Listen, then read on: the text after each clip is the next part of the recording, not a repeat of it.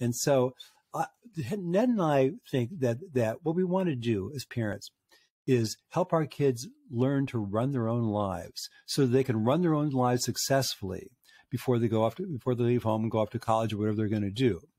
And to stay, so we take that step backward. How do we do that? Well, we, we give up the idea that somehow we're supposed to be able to force our kids or make them do certain things. And we start to think about ourselves more as a consultant to our kid.